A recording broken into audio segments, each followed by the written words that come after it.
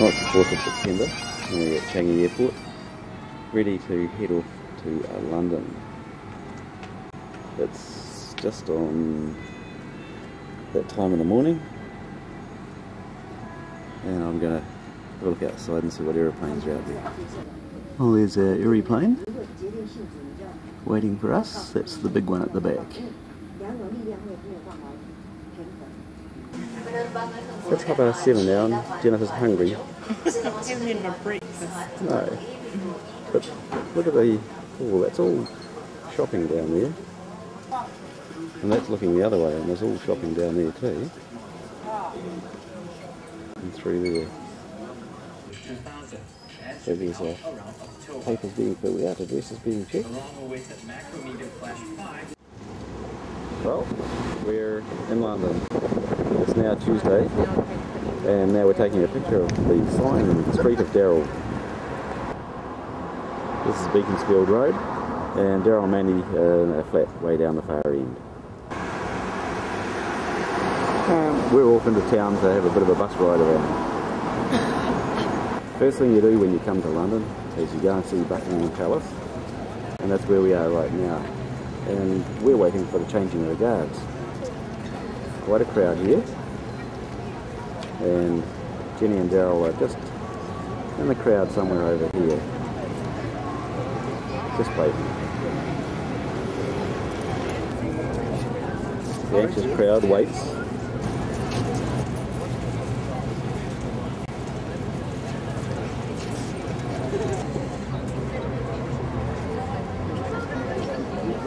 There's the lights.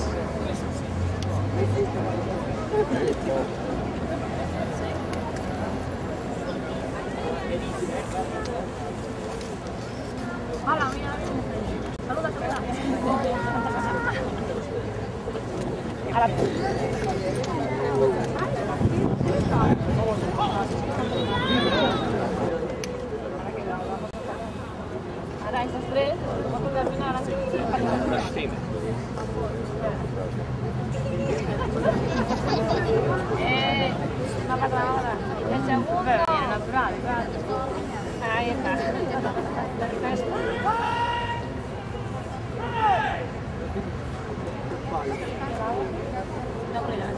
inventar, porque tengo tantas fotos de guardias ya que...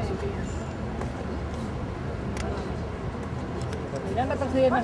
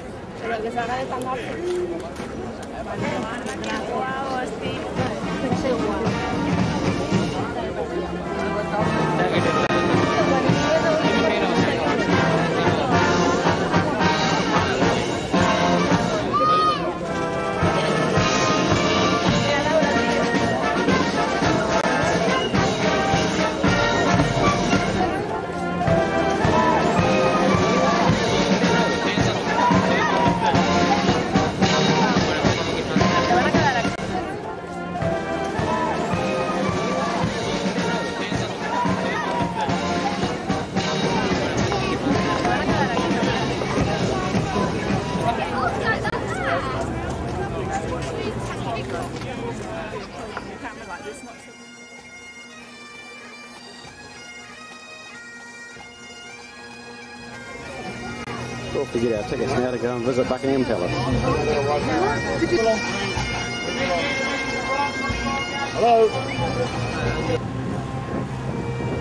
So that's where we were.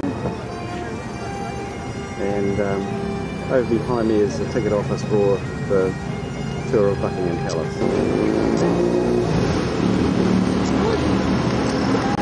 Twelve thirty here. We're on the twelve forty-five.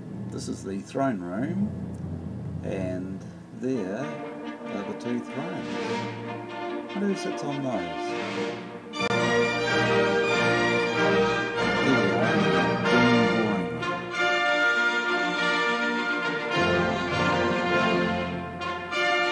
This is the picture gallery.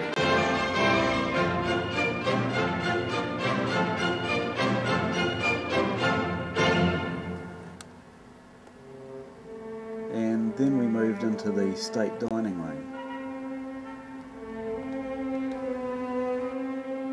The blue drawing room was just magnificent.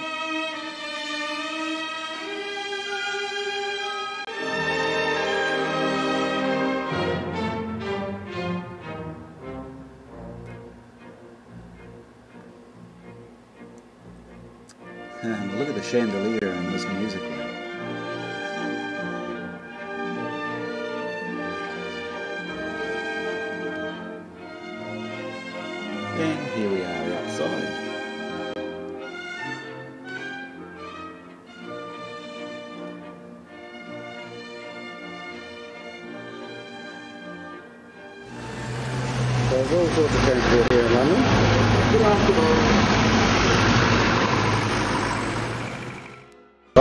On the London Pride tour, and we're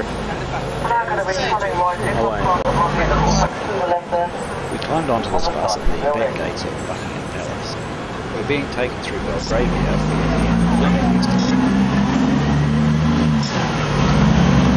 Key Gardens are private gardens for the surrounding residents only. Nicknamed Key Gardens, and originally you needed to purchase a key to enter them. The key is only available to the surrounding residents. Although Grosvenor Gardens has now been open to the public, and in these gardens, now London still remain private. The funeral of Princess Diana was held in September 1997. A call We're heading for the Lambeth Westminster Abbey. First, a look at Westminster Abbey. It is one of the most prestigious boys' schools in the country. Many famous people have been educated here, including Sir Tom Gielgud, and Lord Andrew Lloyd Webber, uh, the composer. As we cross the Lambeth Bridge, we see the House of Parliament on the left and Big Ben over there in the distance. It is the tallest masonry tower anywhere in the world. You may have seen the film The Mutiny on the Bounty. That's where Captain Bligh, who survived the mutiny, is buried. Then will be used in the church. That's now the Museum of Lambeth Science Palace Road is behind us now. Uh, we're crossing over Westminster Bridge and there's Big Ben above us.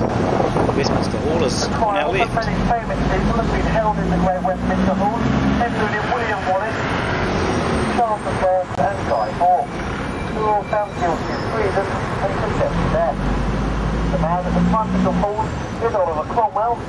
He was a victor in the English Civil War, and he was the man who had Charles I executed. Cromwell there with the lion at his feet. See just to the left here an annex jutting out from the side of the House of Parliament.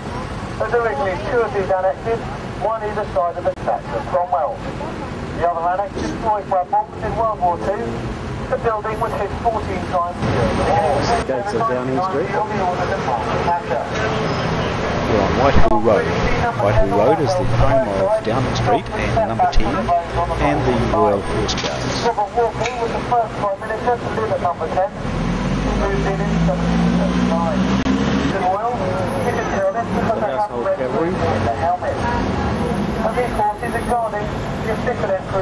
Carrying on down Whitehall Road, we see Nelson's Column and Trafalgar Square ahead of us.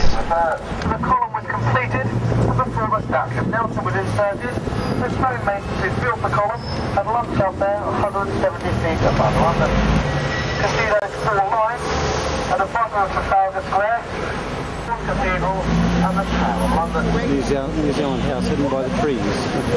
Blinded the superiority of nature over knowledge and human kind. A temporary statue that's been there for just three months and will be removed at the end of the autumn. Part of a series of temporary statues being placed on this plinth while the authorities decide what to put there permanently.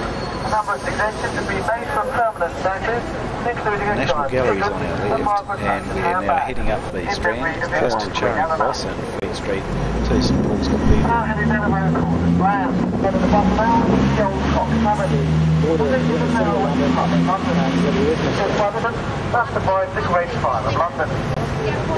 of famous diamond here in the 1600s. This amount of gold has reported self-surviving war. It's based This is pictured of this the. The whole of this road, Cannon Street, was completely reduced to rubble during the. And a number of the roads around here have proved itself miraculously surviving Tower Bridge to the right of the bus there, once again to the side of the tower. Two raised walkway there, connecting the twin We can only view Tower Bridge. From a distance because the road's closed today. Those walkways had to be closed to the public in 1909 after a large amount of people found it a convenient way to commit suicide. They jumped into the walkways into the Thames. The walkway is now reopened as part of the Tower Bridge experience with encasing glass. And there's the Tower London. We're You going to go the there later. the tower down to the right there. Found already water in the moat. Good range of cholera epidemic. Cholera is a disease water. Wall. After the tower, we crossed the Southwark Bridge, travelled up Southwark Street, drove across Blackfriars Bridge, and we're now going along the Victoria embankment to Cleopatra's Needle. We're going to get off there and we're going to meet Mandy for some sightseeing and a bit of tea. one the temple. The other needle is in Central Park, New York. The left-hand side of the bus on the far side of the river is the Royal Festival.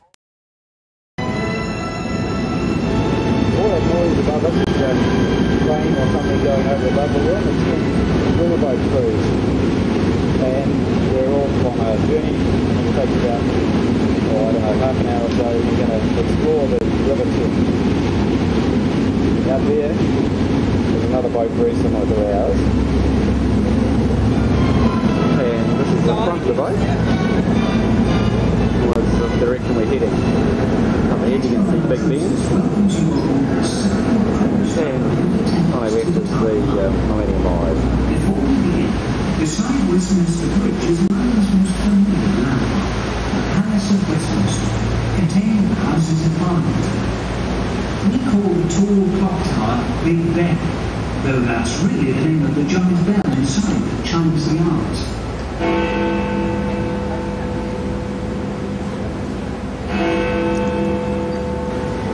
The River Thames is divided into two.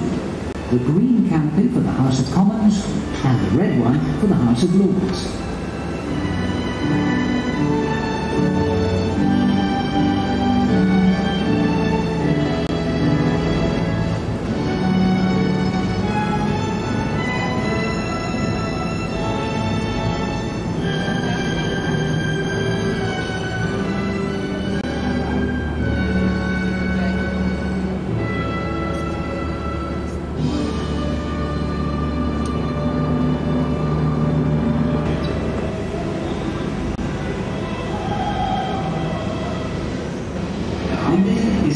Gallery, which shows modern art exhibitions. The twisted column of neon bulbs on its roof changes colours to show the direction and speed of the wind. It's best seen at night. It's the second largest cathedral dome in the world and is around 121 metres high, 365 feet, one foot for every day of the year. The golden ball on top is big enough for a man to stand. Prince Charles and Lady Diane Spencer were married in St Paul's in 1981. The Blackfriars Road Bridge to the. The top side single as the. In 1982, the body of Roberto Calvi, the Italian banker to the Vatican, was left by the Great Fire of London in 1666.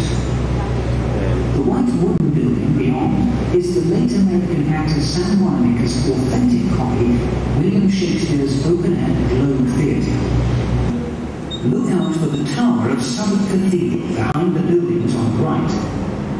The cathedral has a chapel dedicated to John Harvard, founder of the American University in Boston, who was baptized there. Until the 18th century, London Bridge was the only bridge the city had. All those others we passed didn't exist.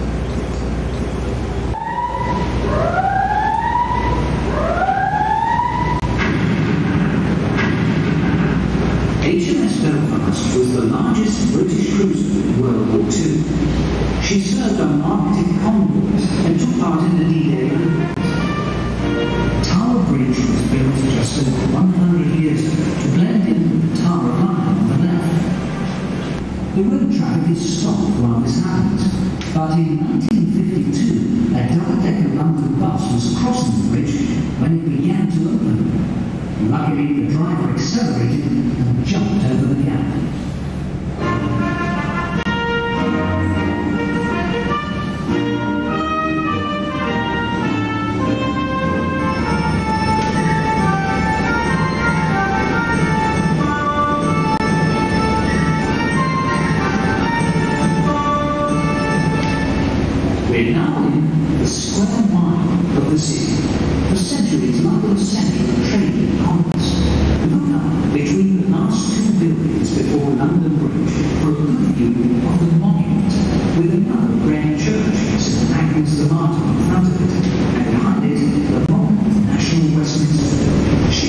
Thank you.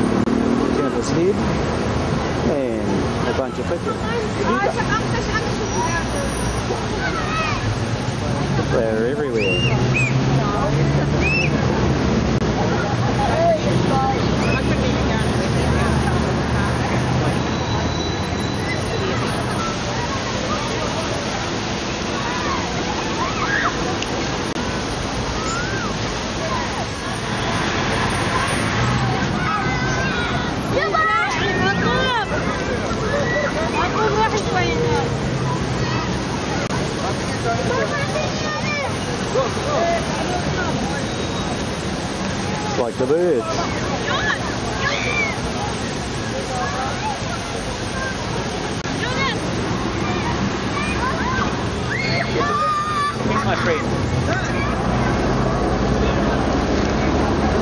Just go and walk out there. Go on. You can do it. Keep going. There you go. Yeah, go on. Where's the birds? We're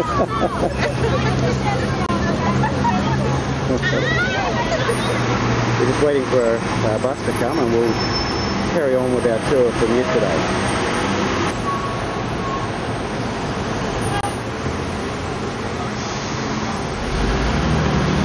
We're back on the bus.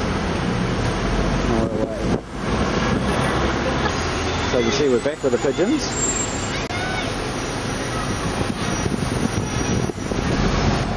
I guess this area is called Whitehall. Just a wee pub on the corner.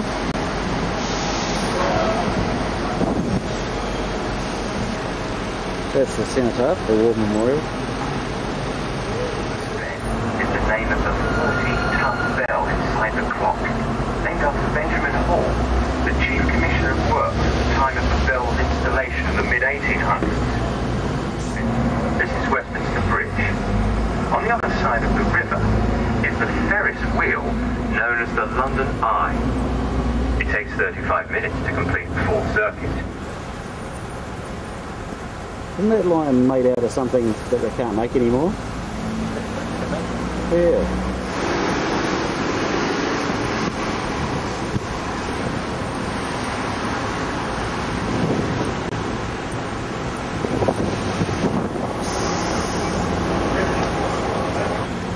See, there's tour buses everywhere.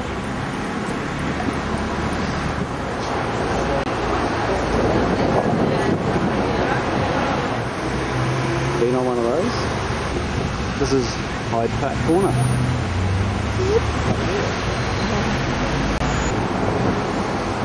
That's Rotten Row down there. First street to be lit in England.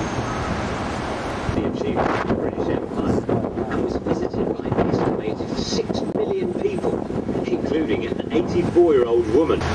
To the left is Harvey Nichols department store, also founded in the mid-1800s by the linen merchant Benjamin Harvey. Well, there's the time.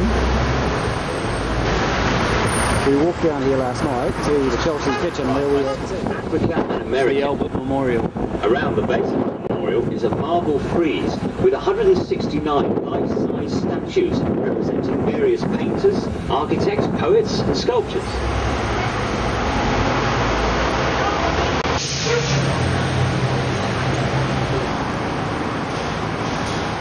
Across the road.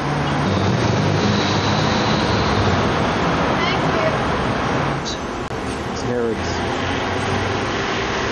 right in front of us.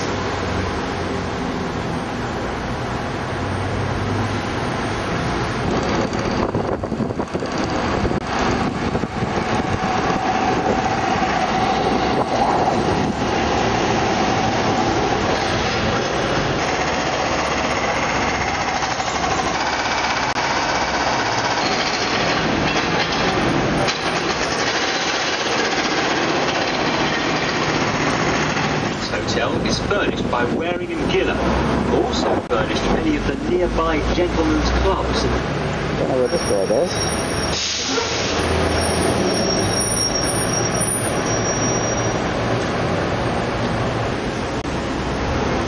Coming into Piccadilly Circus.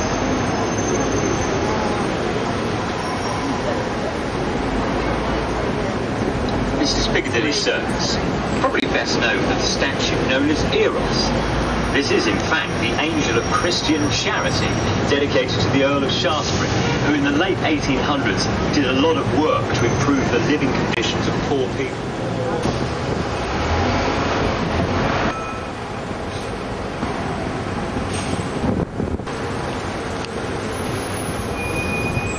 This is the heart of London's theatre land. Who arrived here in the late 1700s on the Charing Cross Road. We're approaching St Giles Circus. We had a bit of a break on the other bus. It was raining, so we climbed onto another one.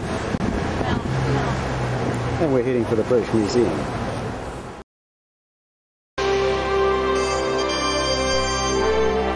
Well, we're at the British Museum. Bit of roadworks now going on either side of it, we're here.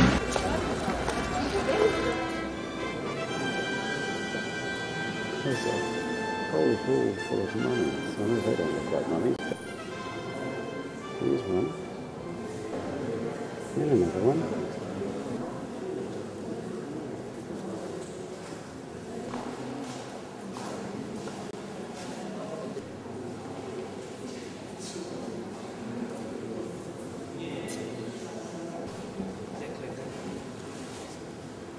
They're just all over the place.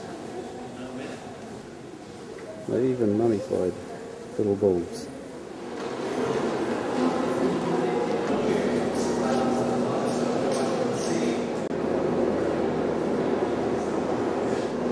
The statue that Jenny's standing underneath is the upper half of uh, statue of Ramesses II.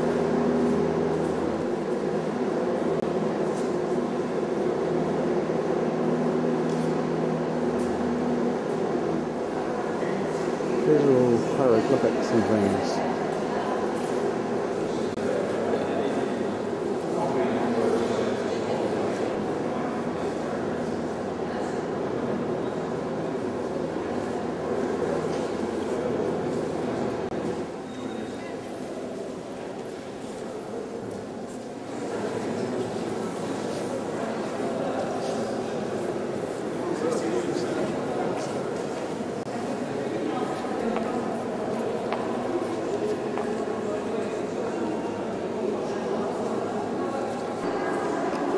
So down there is a whole room full of freezers of sides of buildings and things.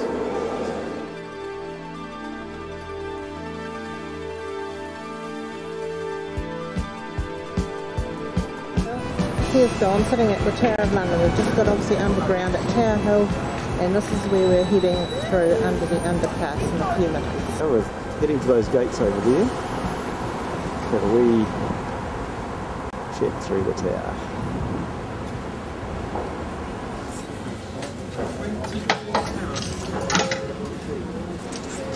And we've got to have a guidebook, of course.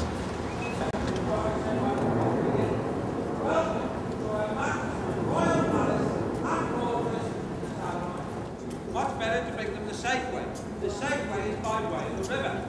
You bring them by way of the river, you need a d- gate to let them in. In those days, it made sense to call it the water gate. No executions took place in any of the towers, but a lot of the murders took place there. So they changed the name from the Garden Tower to the Tower of Block. We're worrying our way up to the village green. Well, this is the village green. We've just come out of the church, and uh, this is where all the private executions occurred.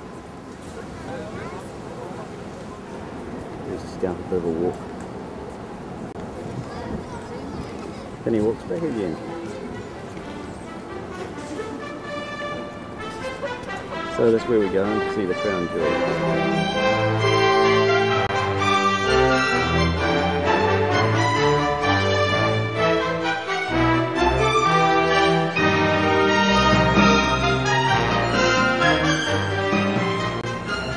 We just off to buy some crown jewels. Is Jenny buying a royal ice cream? It's a big cannon. It's a Flemish bronze gun. And they had those around about 1607. These are a couple of the seven odd ravens that they've got to keep around here. Because if the ravens disappear, then the then England will fall, and the tower will crumble.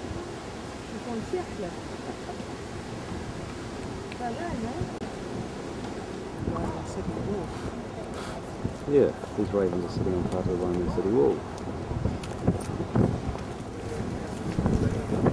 So it's pretty old. In fact, it was around in the 12th century. So we're off have a look on the White Tower.